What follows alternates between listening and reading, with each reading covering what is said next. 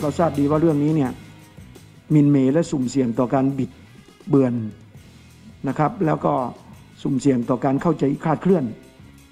ซึ่งโดยที่จริงแล้วเป็นเจตนาดี แม้รองหัวหน้าพักเพื่อไทยจะออกมาทบทวนท่าทีขับเคลื่อนเกี่ยวกับกฎหมายอาญามาตรา 112 อย่างระมัดระวัง แต่นั่นก็ไม่ได้หมายความว่าจะทำให้ปัญหายุติ ทุกอย่างดูล่าช้าเกินไป นอกจากติ่งพักส้มจะออกมาสับ ยังต้องเจอกับคู่ปรับตลอดการ ที่เห็นสงบเงียบอยู่นานก็ได้โอกาสออกมาย้ำจุดยืนที่เคยเคลื่อนไหว จนได้ร่วมรัฐบาล สิ่งที่มีคนคิดสิ่งที่มีคนต้องการกระทำแล้วก็มีคนไม่เห็นด้วยเนี่ยจะมีผลกระทบ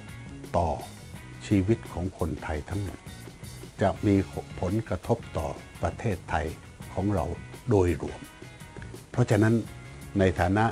เป็นประชาชนคนไทยนี่วันนี้ไม่สนใจไม่ได้นะครับ ผมถึงชวนพี่น้องว่ามาให้ความสนใจเรื่องนี้ แล้วมาช่วยกันติดตาม ศึกษาให้รู้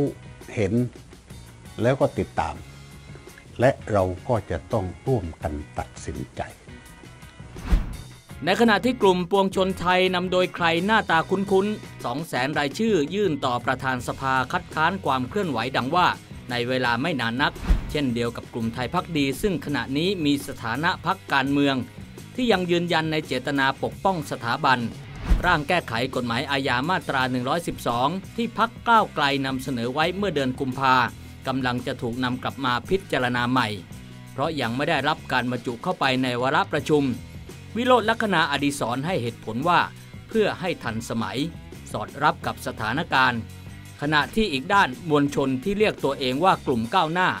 มีธงชัดเจนเกี่ยวกับเป้าหมายว่าจะแก้ไขมาตรานี้อย่างไร วิษณุเครืองามรองนายกรัฐมนตรีฝ่ายกฎหมายมองว่าการแก้ไขกฎหมายอาญามาตรา 112 และมาตรา 116 ดูแล้วเหมือนกับการแก้กฎหมายอื่น ๆ ทั่วไป ถ้าเสียงส่วนใหญ่ในสภาเห็นด้วยถือเป็นสิทธิ์ของสส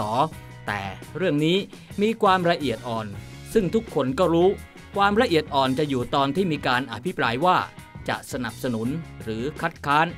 เมื่อแนวร่วมฝ่ายสนับสนุนและคัดค้านเริ่มเคลื่อนไหว บทหนักจึงตกอยู่กับพักเพื่อไทย ที่เคยแสดงบทนำไว้เมื่อวันที่ 31 ตุลาที่คาดหมายว่าจะได้มาชัดยิ่งกว่าชัดว่ามีแต่จะเสียไป